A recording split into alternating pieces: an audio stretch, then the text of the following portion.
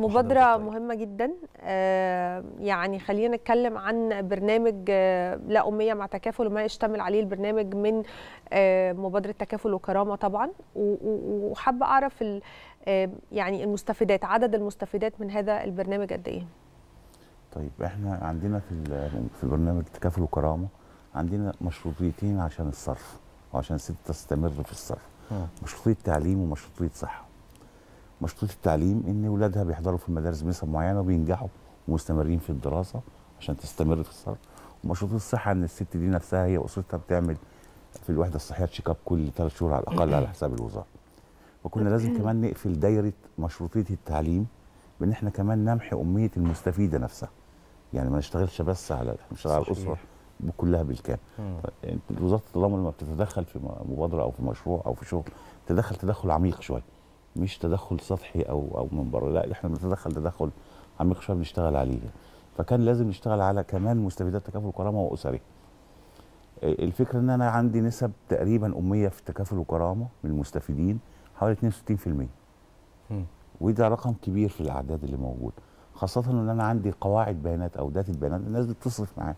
فبالتالي أنا عندي قواعد البيانات وعندي دي من الداتا السيدات بس ولا من لا، لا، ورجال. كلها؟ لا الأسرة مم. كلها رقم كبير جدا فعلا آه طبعا رقم مم. كبير جدا فكان لازم نستهدف ال ال ال القصة ديت ونشتغل على هذا الأمر بشكل جيد خاصة وإن أنت مهما تعمل تدخلات تنموية ومهما تشتغل على رفع ال- الأسرة لازم لازم كمان تتعلم الأسرة مم. عشان تبقى ضامن إنها هتعرف تستطيع أن تنتقل من حال إلى حال تستطيع أن تدير حياتها بعد كده صحيح. لأن التعليم النقدي في يعني الدعم النقدي في مصر ما عادش دعم نقدي غير لازم يكون مشروط ومحدد المدة.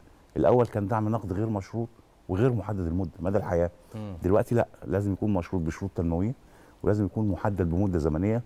أتأكد إن الأسرة انتقلت لحال حال تطلع وتخش أسرة ثانية مكان. ده عظيم جدا وكويس موضوع الشروط ده مبدئيا. يعني مسألة. الحفاظ على الصحة وفي نفس الوقت تعليم الابناء طيب مع صرف الدعم النقدي إحنا متأكدين إن هذه الأسرة من الأسر الأولى بالرعاية. اذا المتابعة الصحية هل هي مجانية ولا فيها فلوس؟ وكذلك تعليم الأولاد هل بي- بي- بيصرف لهم مثلا آه، دعم مادي شهري؟ الوزارة بتتحمل آه طبعا. يعني في آه، آه، 80 120 آه، 100 120 140 ده الابتدائي الاعدادي الثانوي. آه، 100 جنيه شهريا؟ آه آه. آه لل- للطفل للطفل، في آه. الابتدائي. 120 و140 آه. طب بالنسبة. لمصروفات المدرسة لا بالنسبة كل ده معفي حضرتك بقرار معفي. الوزارة. آه طبعا. آه. يعني كل أبناء مستفيد تكافل الكرامة معفيين من الفئات المعفاة من المصروفات المدرسية. بالإضافة لما تقدمه للوزارة من دعم أصلا مستلزمات العمليات التعليمية نفسها ملابس وشنط مدرسية و... ويمكن أحيانا كمان بيبقى معانا مكلفات الخدمة العامة. الموجودين في الوزارة بي... بي... بيدفعوا شوية في فكرة المجموعات الدراسية اللي بتشتغل مع الولاد في الجمعيات الأهلية. وإزاي نحافظ شوية على إن هم قادرين يمشوا مع مع المدرسة طبعا.